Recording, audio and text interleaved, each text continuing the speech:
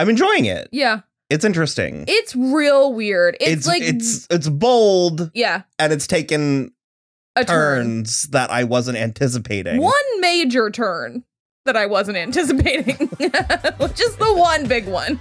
But it's a big turn. It is a big, it's, a, it's a big swing.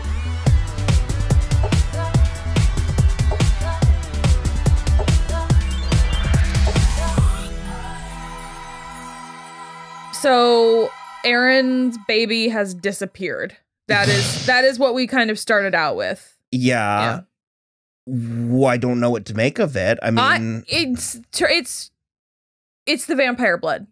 so it just sort of absorbed, it healed, I guess, because well, I know babies are technically parasites. Well, I don't know if it's necessarily that, but it's like the people are getting younger, and I said it before. I was like, we're gonna go back in time, and she that baby's gonna disappear. Did you? Oh my god! Do you think the baby's gonna get smaller? No. Okay, I think you're going very literal with the. Okay, just like I still think a cat's coming out of there. Like, because she's taking the The sacrament, sacrament. and so I was like, mm, I was like, that baby's gonna go away. It- it's a straight vampire, including he can't walk in the sun. Yep. And they even had some of her blood Well, in the- the so sun the rest of them are okay to walk in the sun. It seems like, but thus far. But I mean, even like most vampire mythology, yeah, certainly there are long form vampire mythology, it's like a series. Like Yeah. Dracula visited Lucy like four times before the the, the transformation Yeah. was complete. Yeah, Um.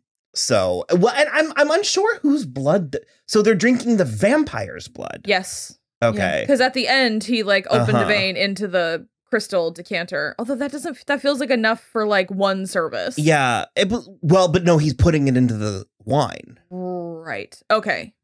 But what what is the comprehension level of this vampire I don't know. He seems very like put out? He seems very like God. Enough already. Uh-huh. Like you again.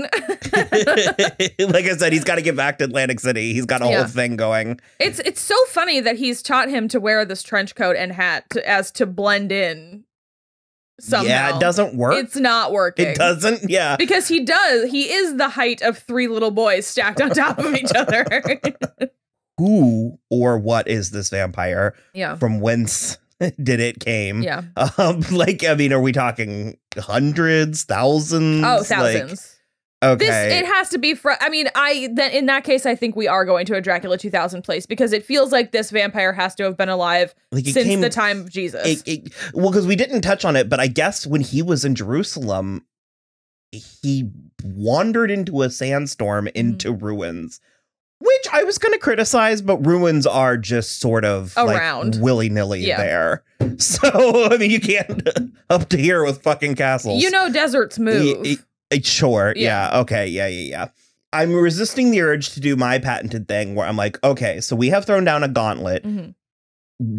where is God in this world? Is because the cross. Well, the the thing with him with the cross, it wasn't so much that the cross burned him as it was he was He clinging it to too it hard. too yeah. hard. So I don't know. I, I'm finding it fascinating and utterly dread-inducing that th- something supernatural is happening, Mhm. and given the parameters they are familiar with. They have a reason to, to believe it is spiritual Miracles. that it is miracles that is anxiety inducing Yeah. nauseating for me because it's just i know there's a parable in here somewhere but it's just when when bad things are happening and and people are falling back on religion as a crutch hmm i- a- a- and using it to explain or justify what's happening versus actually facing the truth the Mm-hmm. Reality of what's happening So the only person who's doing that with bad things is Bev. uh-huh Everybody else believes that these are truly good things that are happening. I tell you, I don't know what your relationship to me or our show is, but I have a tendency to fall in love with piece of work women. Uh, and it can sneak up on me because I hated her. I hated her. She did not even remotely fall into my like Queen Cersei like thing. Um, I, I, I I'm getting there with her. She's Okay, I kind Starting to- of agree. I'm starting to live for her now. Okay, I kind of agree, but okay, I A still whole town full of worthless idiots. She's doing something. she is doing something, and the thing the thing I'll say is I think she's still a terrible person. oh yeah. But as a character, she is fascinating because she's like, all of these goddamn men are falling to absolute pieces about being murdered or seeing a dead body or eating said dead body, and someone's got to clean up the mess. It might as well be me. And she fucking boot and rallied. the parishioners were waiting, and she got the show on the She was road. like, let's do it like in the times of old where Christians just led themselves and there were really- no priests. She's really improvising. Yeah. She's like, I need a location. I need a vocation. Get her a box of Oh, wigs and hats, and she'll put on a She'd show. make it work. uh, and and her her logic. It, it what is the um from uh the happy endings where he's like. Your reasoning is wrong, but your conclusion is, is correct. correct, Yeah. Well, she also it like she barely flinched when she walked into the Monsignor's house and Joe eh, spoiler also- alert is extremely dead on the floor. There is blood everywhere and the Monsignor is up in the corner like a little boy covered in blood and she it's just goes, hysterical how "Oh." worthless he is. Oh yeah. That- that is- Like honest to God, Sister Bev should have walked into that fucking place. She would have been ready to go. uh yeah it, and again a mike mike flanagan special so far i have anticipated everything that has happened Mhm. on this show but it's just as terrifying and terrible Yeah. like even though even though we saw it coming we knew he was going to kill joe No. it managed to surpass our Poor Joe. That finally putting his life back together. that last like kind of strobe like flash shot of him just actually sucking his head Ugh. that's gonna that's gonna stick with me. you because I think like I don't like that at all. seconds, like into like a minute had passed, and you were like, I feel sick to my stomach Yeah. still. no, it was really bad. So Riley's mother, I'm not entirely sure what to make of Annie. Eh, okay, as happens frequently with Kristin Lehman, no one knows what to do with her. She has this kind of role in everything I've ever seen her in, where it's kind of a nothing role and it doesn't really go anywhere, and you just are left at the end being like, "Hmm, weird that she was there. And so something well, we still might have, still yeah, we still it, have three episodes. But so far, I'm just like, hello, Joyce. yeah, it's really the vibe I'm getting from it. Why are you at Joyce's house? Yeah. Well, the three episodes, it's simultaneously a lot and not nearly enough. I don't know. I mean, I believe that he'll stick the landing. I think he frequently does. There are people out there who criticize his endings. but- I disagree. I know I I have seen people say that like the end of Hill House is really schmaltzy, and I I super disagree because I mean yeah, no, that's what that show needed was to be let more dour Yeah. with no with- light at the with- end of the yeah, tunnel. no, no so emotional that's- core. And similarly with Bly Manor, but it's also I don't know. I just think that he strikes a really excellent balance with stuff like that, and so maybe having her the character of Annie is useful in that way because she is just sort of like look at the silver lining, but well, she's trying, but Yeah. she's also she just has no concept of what we're actually dealing with. So Right. few of them do. exactly. And Riley, Except for Sturge or Sturgis or Yeah. whatever, and Wade, who cannot handle it at all. At all. He is really not. He like he couldn't even get a sentence Worth- out. You're right. There are just these worthless men.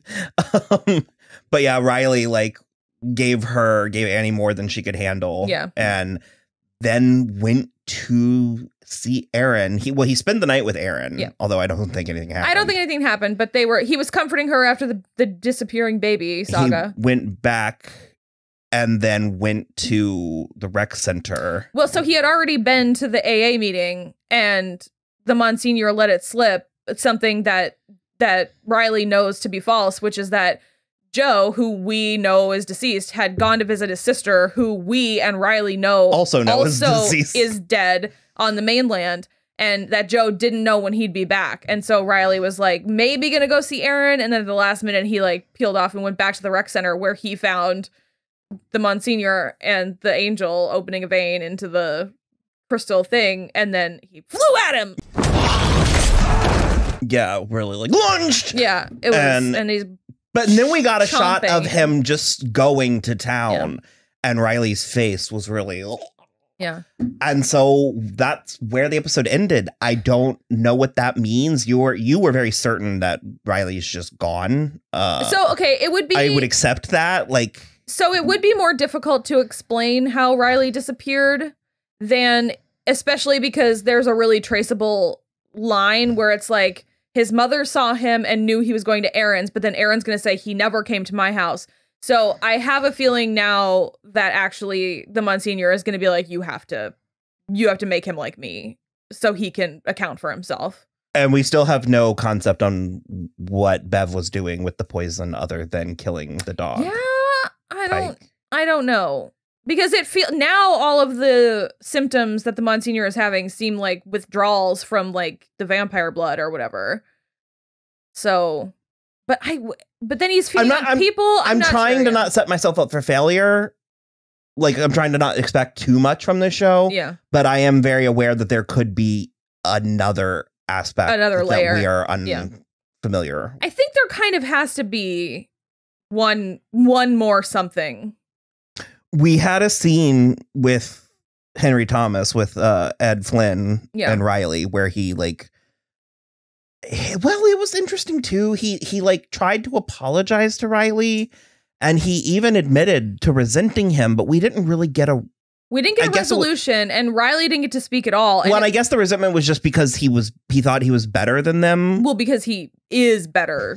Okay, he's like he's very smart and he was driven and it was like he didn't want to be like a lobster man or but whatever. that that's one of those kind of th- that's a, a type of the generational trauma that happens a lot that d- go, goes unexamined Yeah. and explored. And I'm it, it was interesting for them to touch on it, but not really. I do wish they'd gone a little deeper, especially because they didn't get into a point where like it, it was like Ed doesn't have the language to be making that apology correctly because the way he made that apology was still laden with guilt. Mhm. like laying guilt on Riley about it. And so that's the kind of thing where it's like I do wish that we could like get a little deeper into that. But I also feel like that's the those are the criticisms I've seen about this about Midnight Mass is that it's like it tries to get into these deep character moments, but it's sort of hindered by the like bonkers vampire shit, which I'm honestly loving. Mhm. But yeah, I that's what I've seen so far.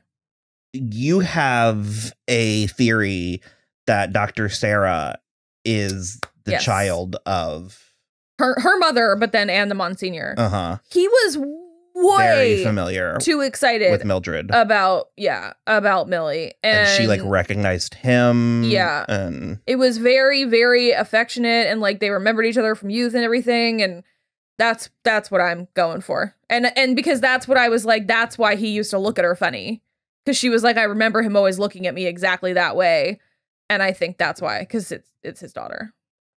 so why would she not have recognized him as Father Paul if she's known him his her whole life?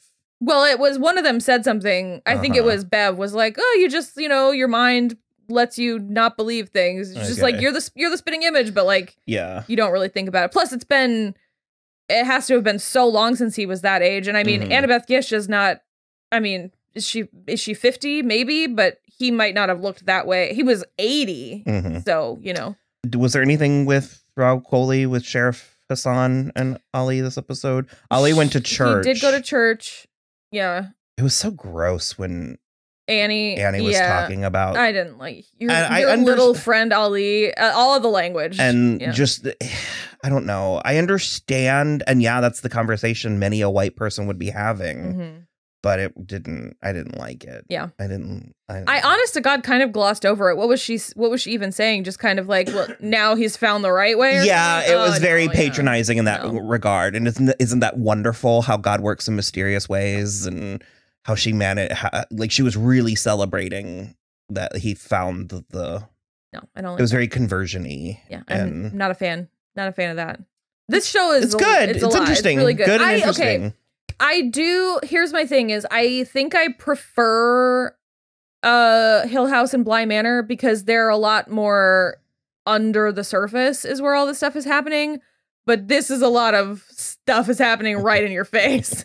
and it's still good, but it's a lot less of like what I've come to uh, Mhm. expect from Mike Flanagan. Um, so far the kids, I feel like they haven't done much. Kind of, kind of useless. Yeah, we point, haven't really yeah. gotten anything from Warren or, or Leeza, I mean, other than her. the the miracle, Yeah. or um, U- The other one. Ooker, yeah, the friend. I'm anxious to find out what's going on with Zach Gilford because I don't want to watch three episodes without him. what if they all just accept it at the end? I'm. I I think we might be heading there. Yeah, I wonder if they just all are like, well, this is it. which is interesting in its own right. For We're sure, frequently yeah. being like, what if we were just like, okay, That's the oh well, we actually um Erin and Riley had a really long, deep talk about what happens after you die. I loved his explanation. I liked hers too. Mean, Hers too, for it was sure. in a different way. and then the way he was like, I really hope you're right. Oh, it's so good. And the two of them acting off each other, that's a combo I would have never like put out there in the universe, but it's amazing. Uh, the thing is, it's like he absolutely killed somebody. Yeah. with his a young person, a young Yeah. girl, teenage girl, with his Negligence. bat. Yeah. And so, I mean, he absolutely does deserve to to to pay for that. Uh, But that's But what the is- prison sentence. well, yeah, for, but there's yeah. also a part where it's like he's never ever going to forgive himself. No, and it's never. sort of like, I mean, at some point you kind of have to. Yeah. or you should. You should. You should at least be making strides to get there for sure. Anyway, they had a really lovely little talk. It was nice. Her explanation was really sweet. Yeah, I loved it. so And then it went fucking bananas at the end. All right. Well, uh, I guess we will be back with episode five, hopefully soon. Yep. And we will see you then.